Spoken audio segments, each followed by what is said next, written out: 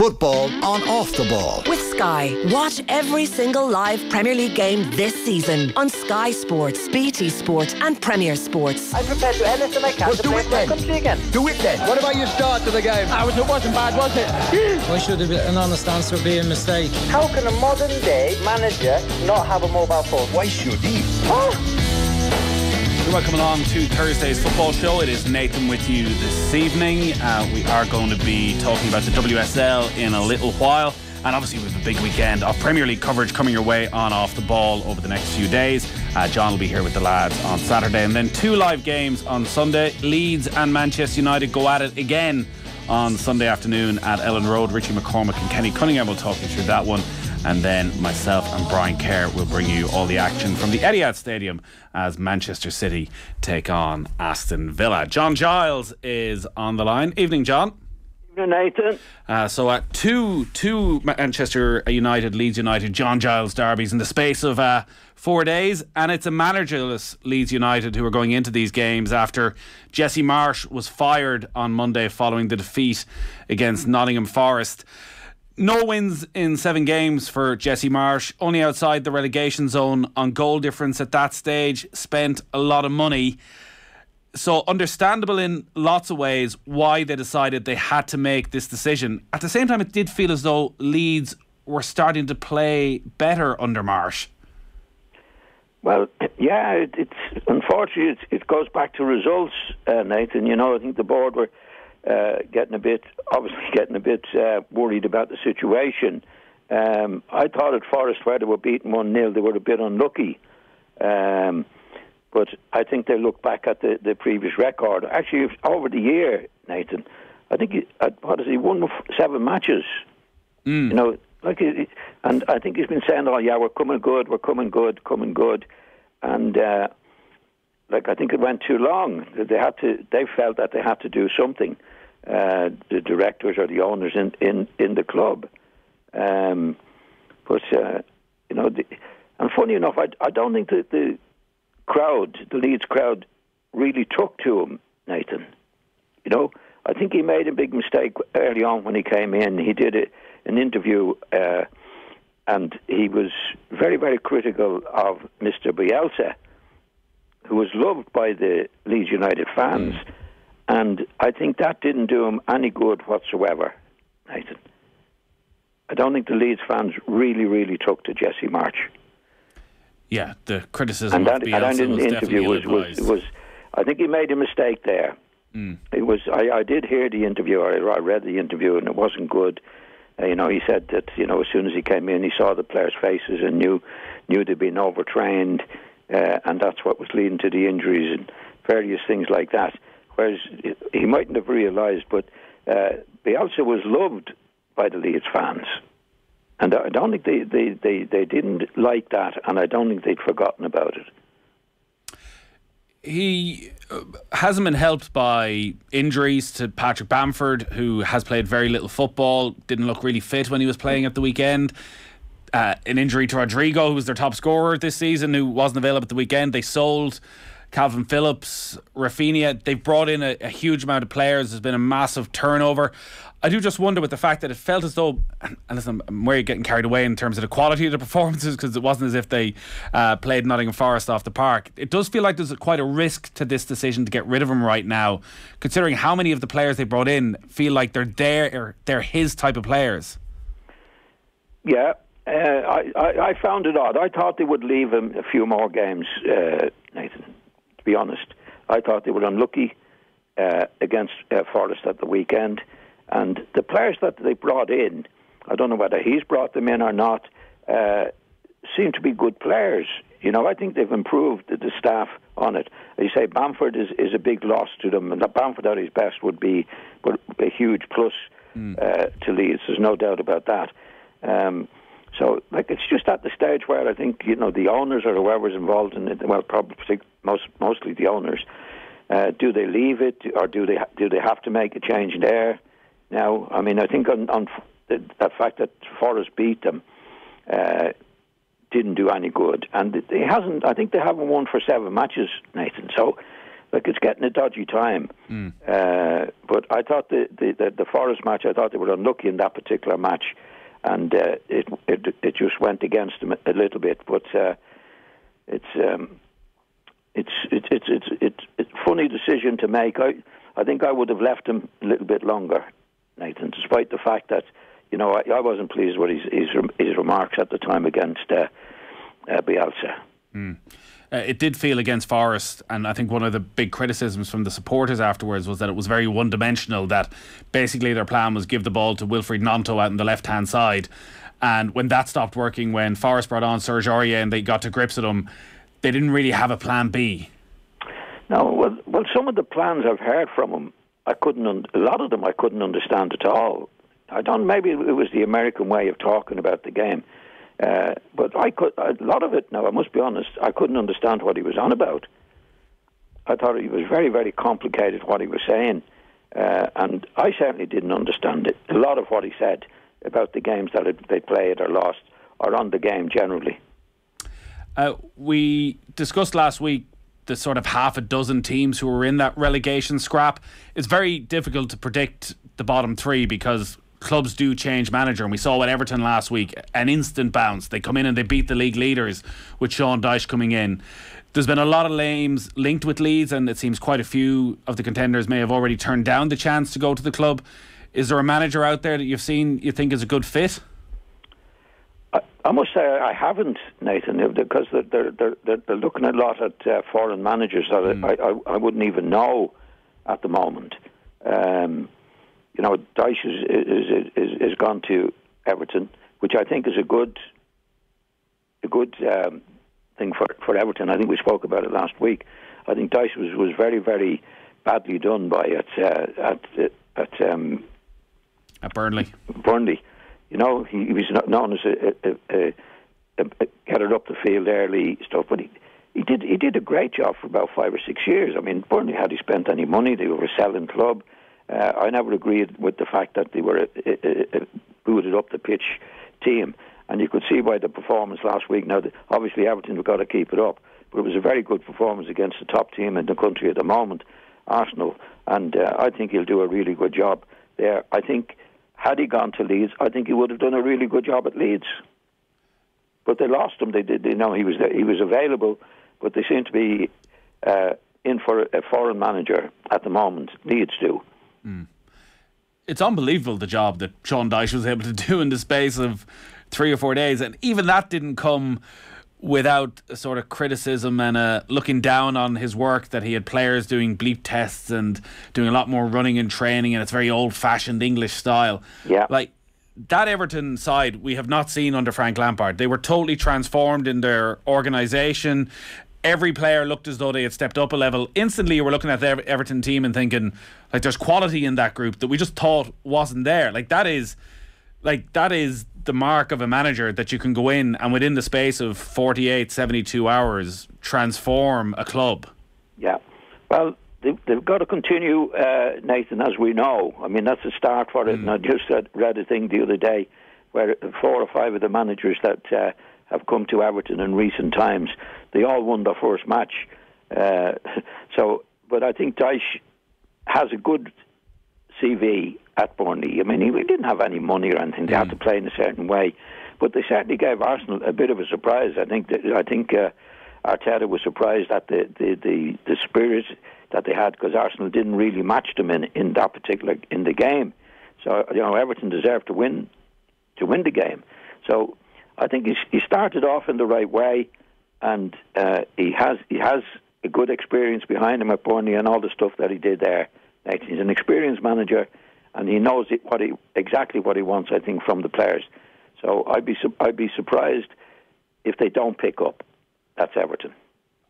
Arsenal are still five points clear with a game in hand after City were beaten by Spurs at the weekend. The defeat to Everton, the manner of it, and you go back to the draw against Newcastle. So Arsenal and the way teams approach them is probably going to change over the next 17, 18 matches. They've gone from being the hunter to the hunted. That teams are sitting very, getting very defensive, getting very physical with them.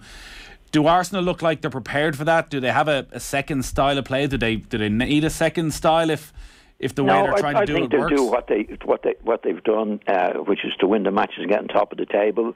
Nathan, I think Everton probably gave them a surprise with the their approach to the game, and it was their first match and uh, playing at home. But I, no, I think I think Arsenal will get over. I think there's. They're, they're, if I was putting a few bob on, on winning them league, I think I'd put it. I'd still put it on Arsenal. Uh, Manchester City then beaten for the fourth time uh, this season. I'd say missed out on the opportunity to close the gap, and like it feels like they always lose at Spurs in the exact same way, where Spurs are happy to go at them on the counter attack. Harry Kane will take a chance and they'll come away with the win. There's a huge amount of controversy around Manchester City this week, and the FA charges that they're facing, and who knows that how that'll play out in terms of stripping them of titles or deducting of points, or maybe even as far as relegating them over the coming seasons. It might take a while to play out. It's probably overshadowed what's going on on the pitch at the moment at Manchester City and the struggles for Pep Guardiola. Like the team selection again last weekend, Kevin De Bruyne left on the bench.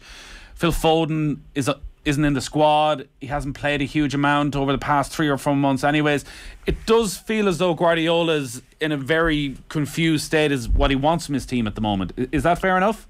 Um, well, it's surprising that he's making the changes that he's doing at the moment. Uh, I mean, he's always made changes, uh, Nathan. But I think, I, I, I mean, he's, he's done brilliantly for City, as we know. But I think it gets too complicated, particularly in recent times. As you said, the players that he left on the bench in what was going to be a very difficult match for him. And he's got this young man, Rico, Rico Lewis. Rico Lewis, yeah. Yeah, no. He, if you look where he plays, and he's actually down as a fullback, but he plays all his time in midfield. No, it's it's something that Pep seems to want to do. Like in other words, I'll try this. I try. Nobody else has tried it. I've tried it, and and it, it it's just too complicated, in my opinion. Now he's been a great manager for City, but. Uh, you know, like you, you've, got to try and keep it as simple as you possibly can, and, and, and doing that, in my opinion, is playing your best players in in, in their best positions. Uh, but as you said, the team he turned out with the players on the bench and this young kid, he's, he's a, I think he's a very good midfield player. He's not a left back. And if you look back on the goal on it, he was caught uh, uh, in possession on the edge of the box. But he was on the, the central edge of the box, and the ball was, was laid out to, to Harry Kane in a position, in my opinion, where the left back should be. So I just find I just find him odd at times. Pep. I know he's been a great manager. He's won an awful, awful lot of trophies, but uh, you know th th there are managers in the game in the past game that get complicated. Try this, try that, try the other, and I think he, he, I think he's at that stage now, and it doesn't make sense. In my, in my opinion, it doesn't make sense what he's doing. And in a in a time like that when results are going against City, it, it feels with Pep that he'll keep experimenting, he'll keep trying to do something different. Is that where actually as a manager you need to go back to basics? Well, definitely. I don't think you should ever leave basics, Nathan. It's it's not that complicated. In my opinion, keep it as simple as you possibly can. Defend when you have to, attack when you can. You know, you don't need uh, like I've never seen this before in any other other team uh, where you have a left back and he's only he's only a young lad playing in the midfield and expect to be able to defend when they're under pressure. It, it just doesn't happen. They keep it simple because always when I was playing anyway, keep it simple. You know, play your best players in your best positions. But I, I think uh, Pep is being like that a little bit all all over his career. But more, I think more so now than I ever than I've ever seen him before. So Harry Kane got the goal, 267th goal for Tottenham. I'll uh, Ah, yeah. ask you the question you don't want to answer. Is uh, Harry Kane a greater striker than Jimmy Greaves? I don't think so, Nathan. First of all, very few strikers are the same. They're, they're- you know, they're all they all have their own qualities, and I've never seen two the same. Uh, but what they didn't say in the in the stats, Nathan, uh, like he he overtook Jimmy Greaves for Spurs, right? But Jimmy Greaves scored hundred goals for Chelsea before he went to Spurs. More. You know, so Harry, scored- Harry would, be way, would be way behind on goals scored, in, and these were all in the Premiership, uh, well, the first division at that particular time. Um, But I must say, I, I, I think Harry Kane is world class and what he does. I mean, in, in, in relation to Jimmy, Jimmy was a goal scorer, out and out. He was a genius. I played against him quite a lot. Absolute genius, goal scorer. But Jimmy didn't make many goals, Nathan. He scored a lot of goals. He didn't make many goals. Whereas Harry Kane scores a lot of goals, and he also makes a lot of goals.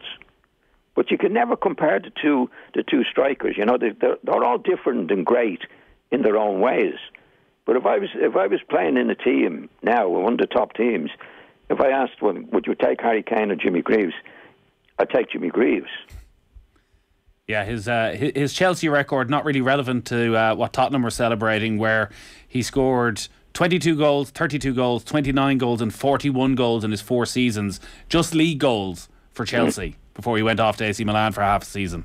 Yeah, that's what I'm saying. But I mean, they're, they're talking. Harry's done great. He's beaten Jimmy Greaves' record at Spurs. Mm. But Hardy didn't play for anybody else. That's the point I'm making. Jimmy Jimmy Greaves scored 100 before he came to Spurs, and then scored 266. Now, I, am not taking anything away. From. I'm a great admirer of, of Harry Kane. I think he has reached world class. I think he's done a great job for, for Spurs and will continue to do so.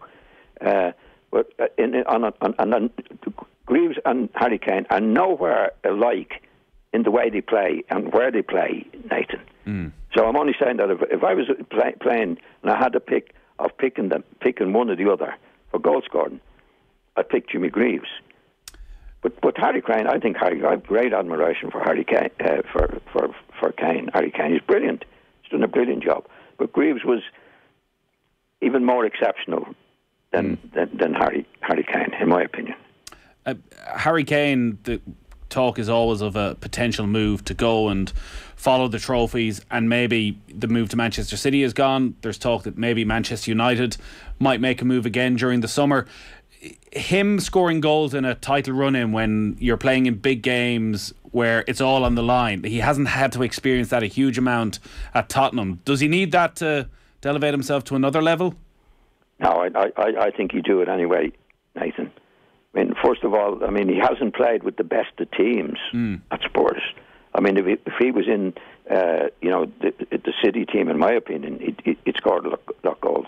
Or, or, or Arsenal, any of the teams that are winning, uh, I think he he would score he would score even more goals.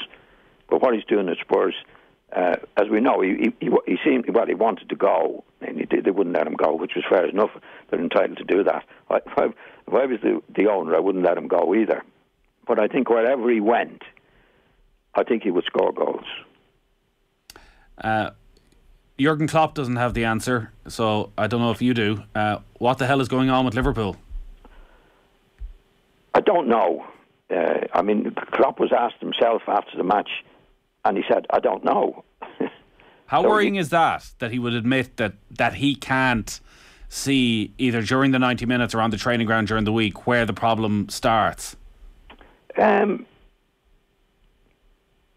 I don't know. I mean, I, when Klopp was at uh, when he went to first Liverpool, I probably unkindly said he was a one-trick pony with a great trick, right? Mm. Because he, I think he gets the players out, go, go, go, go, go, which is which is which is great. But like they're playing a high line in that now, and I and I think he's being honest to say I don't know. Now there's very few managers that I came across, top managers, who didn't know what was wrong to put it right. Do you know what I mean? Yeah, well, that would also suggest that there's there's no sign of this turning around quickly. I don't think it will. I, and you, you, you, you, we're, we're all guessing mm. in it. You know, it, it could well be. Did the Salah situation where he got a big increase in, in his wages? mean something. I, I know from being a player, uh, you know, you talk about morale. Morale is very hard to, to to to make or guess, if that's the right word, Nathan. And it's so easily lost. Now, if you, I could only go back in my time at, at, at Leeds. We were very, very close lads, working well together for for years. But if I'd known, say, at the time, and, and I don't think it happened, that Billy Bremner got a big increase and I didn't, or Norman Hunt, Hunter didn't, and all the, all the top players we'd have. I think there could be trouble there, Nathan. I wouldn't have liked it. You know, I wouldn't say. I'd, I- I'd, I'd, I'd say, John, if you found out now that Billy Bremner had got a pay rise, you probably wouldn't be happy about it. well, it'd be a bit too late. Because, but I, I, I, I, I don't. I, I never. Certainly with Sal now, it's been in the paper that he's, he's got an increase. There's hmm. definitely got an increase, Nathan. We know that. That's the thing. All the Liverpool players would know that, and morale is very, very hard to build, and it can be it, it can be gone like the wind if something like this can happen. Yeah. You know, like I go back and I might have said it in, on, on your program before. At Leeds, when when Don left to go and Brian Clough came in, right? That was after I was there 11 years at that time, and all the other lads were there. Some of them before me. We were a tight, tight grip. We just won the league, and Brian Clough came in with his attitude in that. After 44 days, he was gone, and we were gone. We just won the league. The spirit had gone. He created. He, he, he, what he did was he he picked out two two individuals uh, in the team that Don Revie would have kept under close close control, and that was um, Allan Clarke and Gordon McQueen. Right. He lauded them in front of us, in front of all the players, Norman Hunter, myself, Paul Reaney, and all these players, and he built up a resentment. Yeah. There's a resentment in it, you know, and also telling us that you told your medals in the bin over there, and Eddie Gray, you shouldn't have played. Oh, all this carry on. This was 44 days, but when he went, we were gone. We were split up. We were split up, Nathan, after 44 days, and this is after 11 years.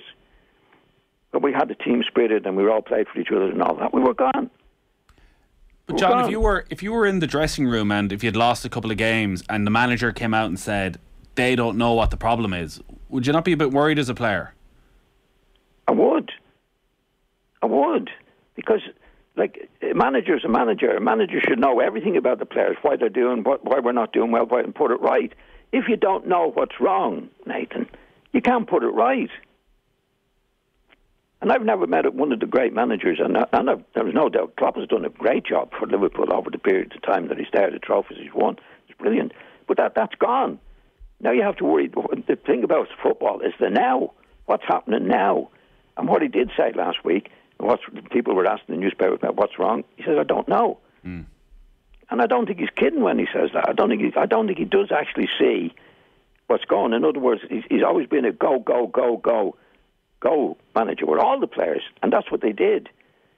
But they're obviously not doing that at the moment. Are we get? We're, we're, I'm guessing. First of all, there's, there's talk about the club being sold. There's talking about Salah getting an increase in his contract over everybody else. I mean, there are two issues that can st- stop the team spirit that you should be having, that Yeah. they've had, that they've definitely had. There's no doubt about that. Is it there? It doesn't look like it's there. Can he tell us what's wrong? He doesn't know. It's big trouble for Liverpool. Uh, Manchester United last night, we, we touched on the fact they drew at Leeds United. Uh, no Casemiro last night. He's going to miss the game on Sunday as well. He's going to miss the following match. He also missed the Arsenal game a few weeks ago after receiving a fifth booking.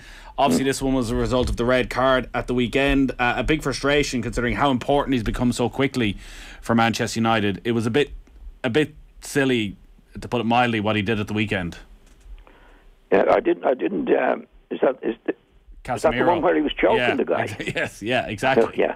Well, obviously there was, there was people making a, a, a claim because everybody was doing it, you know. Yeah. But that does, I mean, he was actually choking the guy. There was no doubt. It, was, it had to be a red card. Uh, like you, you shouldn't you, you shouldn't get involved in that, Nathan. You know, Mm. It- it- like then, then I didn't see the other incident where he got he got uh, sent off as well. I didn't see that. Well, he just got he got he got booked against the Palace a few weeks ago in another game, and it was Oh, his yes, fifth, so he ended up being suspended. It was sort of a stupid tackle as well near the end of the game. Yeah. Well, you can't afford to do any. You can't do. I mean, th- th- they've got VAR now, and it's all the, the, the, the things we see, Nathan. That you, you, one time in my day, you might have got away with certain things, but you can't get away with anything now. And it's a huge loss for them at a time now where it's vital for the for them to uh, do. I mean, it wasn't on the telly yet last night. I don't know how. I know Leeds went two up, and they they came back and got two two, uh, but I don't know. I don't know how the game the game went. But you, you can't you can't afford any slip ups that you can avoid in, in the situation that Manchester United in when they're going for the for the league and that. Uh, when you look at your over 500 games for Leeds, if there was VAR back then, how many red cards do you think you would have had? Um, not many, Nathan, because grievous bodily harm would get you maybe get you a yellow card. you know that was the that, that was the time that was in it. You know, uh, uh, uh, and and to be honest, now I did very very little stupid things when I was when when when I, when I was getting a bit of stick myself. Everybody got a bit of stick, especially in the position I was in, because you, I was a midfield player, supposed to be a creative player. You're you're, you're a target, Nathan. Yeah. But but you get players got away with murder. I mean, I had an incident Eddie McCreadie at at, uh, at uh, Chelsea, Stamford Bridge, and uh, I was I was playing on on out in the right wing, passed it inside, and Norman Hunter was getting a shot in when Eddie McCreadie tackled me. Carried off I was, knee ligaments done. you got your revenge. I got me I got my revenge, uh, and a, a match in Leeds the ball was going out of play, and Eddie and he was a good player, but he but he could really dish it out. And I, I got he, was made for me, and I I got him. I, we're walking off the pitch. He said, "What's that all about?" I said, "That's for you doing me at uh, Stamford Bridge." He said, "That's seven years ago." I said, "But I had to wait all that time, Eddie." Because that's what you had to do. I mean, I was I was I was as bad as anybody else, but I was I was a target. You know, you, when you're uh, uh, supposed to be a creative midfield player, you're in trouble. There was there was no protection from the referees, Nathan. And I'd I'd I'd I'd, uh, I'd been done before that early on, but after the McCreadie incident, I thought, well, never again. You know, that's not going to happen. Yeah.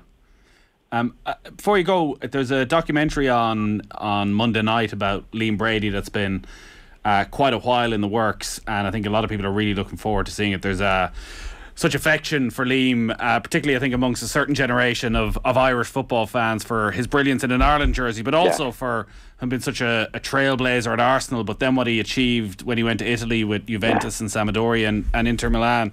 Yeah. Uh, I'm not sure if you're involved in the documentary, but y- your first memories of, of Liam Brady, what are they? Uh, first of all, I'm not in the documentary that, that I know of. Anyway, I haven't I haven't done anything for it.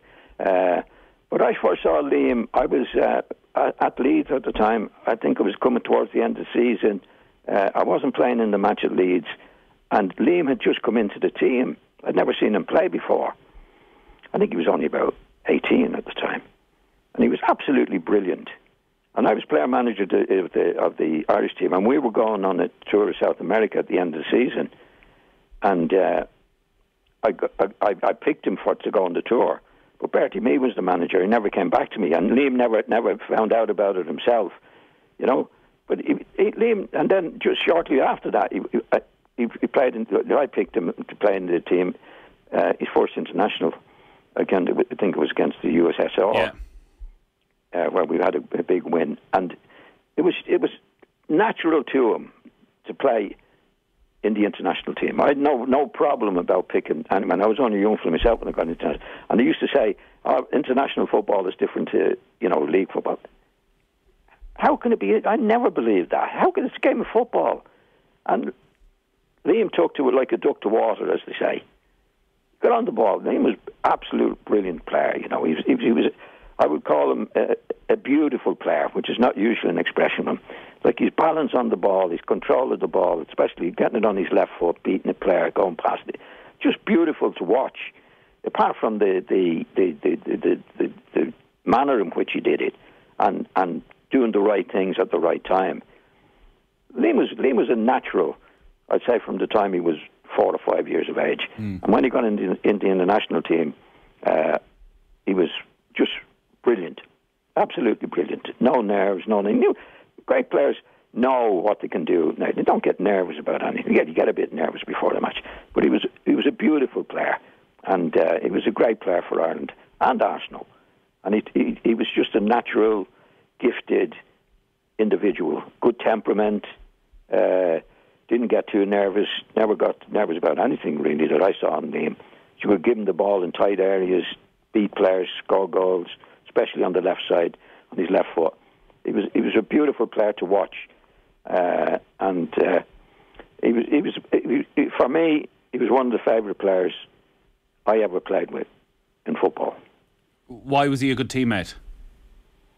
Well, he played for the team, Nathan. He wasn't a show off. Liam didn't have to show off.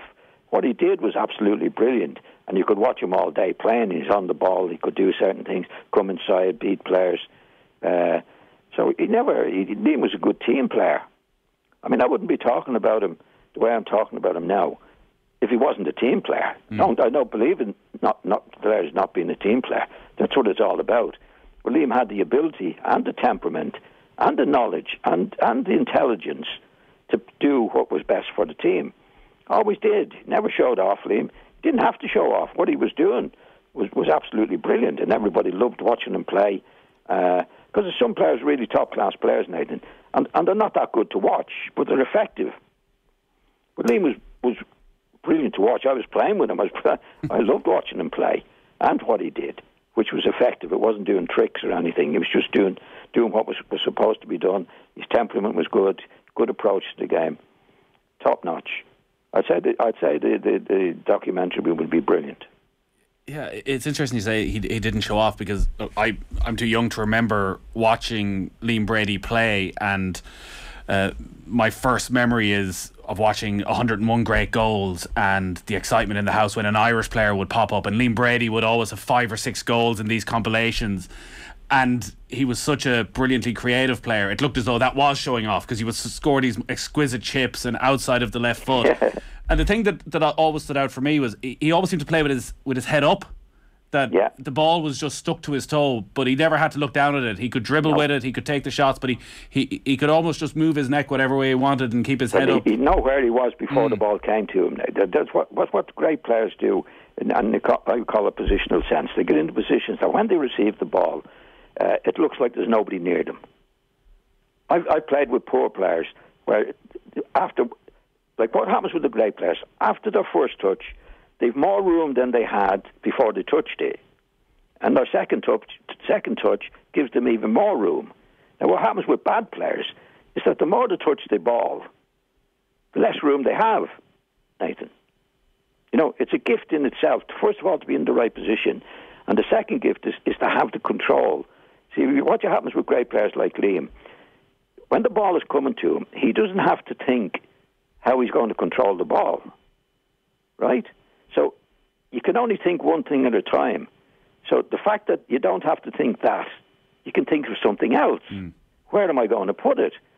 You know, look, with great players, no, before the ball comes to them, they know where the ball is going. If they say Liam Brady's on the left hand side and the right winger is free, Liam would know before the ball came to him that that's the ball.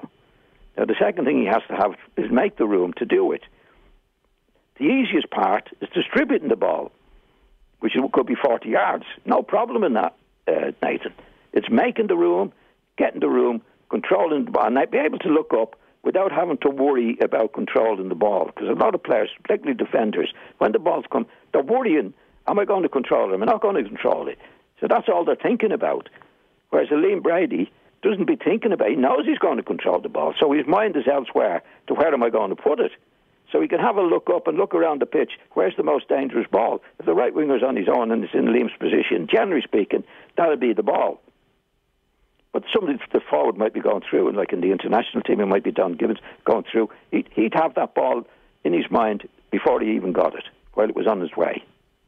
Only because his control was so good. Mm. You obviously spent many, many hours uh, sitting beside each other on an RTE panel would he have stayed close in the in between years? So when, when he went off to Juventus and, and made that huge move and became such a a massive part of a brilliant Juventus team, would you have would you have been in touch then? Would you have spoken a lot about football? Yeah, I would have spoken to him at the time he was moving. It was a big move for for, for Liam at that particular time, and uh, uh, I think at that time there was there wasn't a freedom of contract the way there is today, Nathan. And I think he he he he he wanted to move, and I think one of the, the main people at uh, Arsenal and the boardroom, one of the big directors, said, "You know what? What are you on, on about?" You know, at that time they wanted him to sign. Uh, that's it. When they were a certain age, Nathan, there, there would be uh, a thing on your contract that you could leave the club when your contract was up for, for X amount. Mm. Do you know what I mean? Yeah. And Liam's contract was running out, and he was in the first team. And they were mad at Arsenal for them to sign a new contract. And he knew at that time that the Italian club were interested in, in him, but they wanted him to sign a contract. They were sort of bullying him a little bit. And luckily enough, I had a very, very good friend, and I was quite close with Liam at that time. Uh, I had a very, very good friend who was very good to me, Ronnie Teeman. Uh, he was a top class solicitor in in uh, Leeds, and luckily enough, I was I, I still was in contact with him when I left uh, Leeds, and uh, I put Liam in contact with Ronnie, and Ronnie looked after him from there. Right. So he pulled it all together because it was a big transfer fee as well. I think they paid five hundred thousand pounds at a time when Italian transfers were just opening up to foreign players coming in, but also it was still quite unusual for, for English players to go to Italy and be a success. It was probably John oh yeah, Charles. well, Liam, was, Liam was a great player. He could English play anywhere. Irish players but I think what English happened league. with the with the with the the, the the money situation, he didn't sign the new contract, Mm. Nathan. So the contract he was on, if a club played X amount, the likes of Arsenal wouldn't have any control over it. They had to let him go. Right. That's why they were putting a bit of pressure on him to sign the new contract, so that the, the fee would be much bigger. And were you advising him to go to Juventus? No, no. Well, uh, funny enough, uh, he, he, when I was speaking to him at the time, he, he was. I think he was going to go to Germany. And I said, "Why? Why do you want to go to Germany?" He said, "Well, he said I think the Italians. He said they mark you very closely. It's a very close marking situation." And funny enough, Nathan, I found playing against the Italian teams, they were very, very close marking against the forwards. You know, the strikers. Mm. Oh, they'd be, they were really, really tight. But they didn't come tight on you in midfield. Strange though it may seem. I'd played against a few Italian teams at that time. Right. So you'd have a bit of time on the ball. Yeah. Like they had a reputation for being close markers, but they were close markers of the strikers, and still are when you see them. Yeah. But if you see them in midfield, actually, they, they let you play. And I was lucky enough; I was able to say, Liam, that's not that's not the case. Actually, you get closer marked in Germany than you will in in, in Italy. So I was all not that I, I I didn't I wasn't pushing Liam anywhere. I was only giving him my opinion Yeah. on it. I said if I were, if I were you, I said if I was in the situation, I said I would definitely be going to Italy instead of Germany. I- I'd say And- uh, he was and he glad you gave him that advice. Sorry. I'd say he was glad you gave him that advice the way it worked out. Well, the way it worked out, yeah, but he didn't know at the time. Liam was very young at that, at, uh, when he was going to, going abroad. Uh, Nathan, you know, I think he was what was he only twenty one or so. Yeah, maybe yeah, a little bit older, maybe about 23 when he went to. Yeah, well, he was you know he was quite young to do it, but Liam was Liam was always a classy classy player. I mean, if I was the, if I was an Italian team, I'd want I'd want him in any team. Uh, so he was. I think he was made for it. You know, he'd, he'd, be a, he'd be a brilliant player anywhere, anywhere, and and and a great temperament, and never lost control of himself. Never got big headed. Always, always lame. Uh, you know, he was just one of one of the lads, Dublin lad. Uh, never, never lost, never lost the, the, his head in any way whatsoever. He was, he was a credit to, uh, he was a credit to the game, a credit, credit to himself. Yeah, uh, really looking forward to seeing that documentary on Monday night. Yeah, so am I. Uh, well, we might chat to you a bit more about it once we, we, we- we'll see if you get you get a mention at some stage. There's obviously uh, no backstage from the late nights after the RTE panel or anything. You hope. I don't think so, uh, Nathan, because we made a pact. We never talk about it. I'm only kidding when I say that. Yeah, right. you won't want to read Dunphy's next book, book I'll tell you. Uh, John, great stuff as always. We'll talk to you next week. Thanks, Nathan. John Speak Giles to you there Yeah, every bye, bye. Thursday. If you missed any of that, uh, you can listen back to the podcast in full. And all our football coverage is brought to you by Sky. Watch all the football you love, including the biggest Premier League games every weekend, live on Sky. Football on off the ball. With Sky, don't miss West Ham versus Chelsea this Saturday, live only on BT Sport. This is Newstalk.